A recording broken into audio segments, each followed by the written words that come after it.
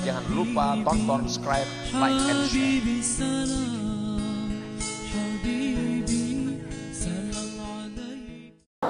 Berlebah di pangkuan Khadijah. Taguri kada terasa berlinangan air mata Khadijah. Ketika menetes di pipi, terbangun Nabi Sallallahu Alaihi Wasallam.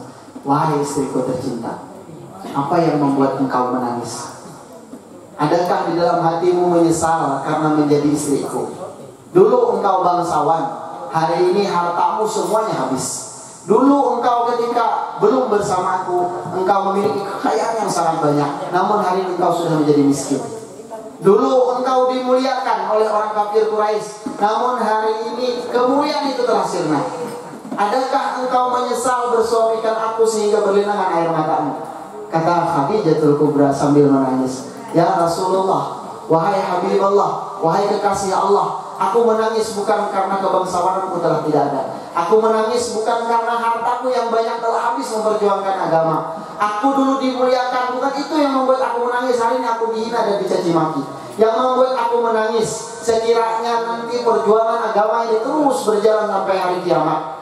Dan agama itu belum sampai ke seberang lautan. Maka ya Rasulullah, sekiranya engkau tidak mendapatkan rakit dan sampan untuk menyeberang lautan. Kalau aku dipanggil oleh Allah terlebih maka silahkan gali lubang kuburku dan ambil tulang belulanku, jadikan rakit agar kamu bisa menyeberangkan ini agama seberang lautan.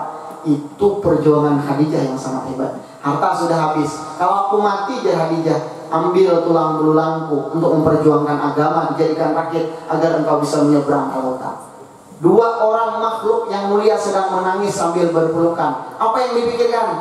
Ki Ki Dipikirkan Nabi 14 abad yang lalu memikirkan bagaimana agama ini akan sampai ke Bungang Sampai ke Terang Bungang Sampai ke Ribang Sampai ke Lampahungin Sampai ke mana-mana Itulah yang diinginkan oleh Nabi Perempuan yang seperti ini diambil oleh Allah Subhanahu wa taala, dipanggil oleh Allah Subhanahu wa taala.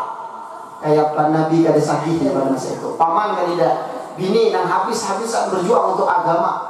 Istri yang paling dicintai oleh Nabi adalah Khadijatul Kubra. Dipanggil oleh Allah. Sedih. Terakhir beliau ke Taif.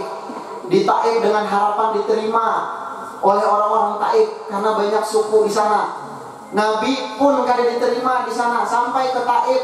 Begitu jahatnya orang Taif dikumpulkan anak-anak muda yang anum-anum kemudian berjejer di sepanjang jalan ketika Nabi berjalan ditawaki pakai batu ditawaki dengan kotoran sampai berdarah tubuh beliau. Sekiranya Nabi kada menjaga darah tadi.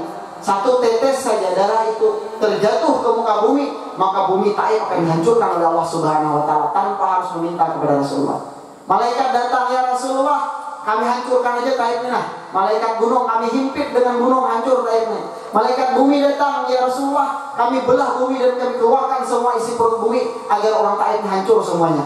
Jangan ya Rasulullah. Mungkin mereka masih belum tahu dan kada paham.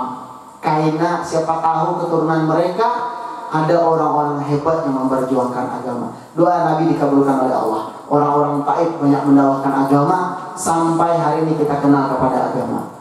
Alhamdulillah.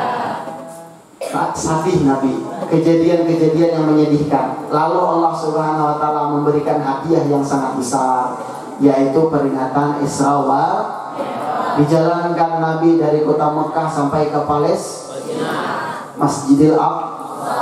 Imbah itu Nabi dinaikkan ke atas langit berjumpa dengan Allah untuk mendapatkan amanah yang ber apa amanah yang besarnya? song.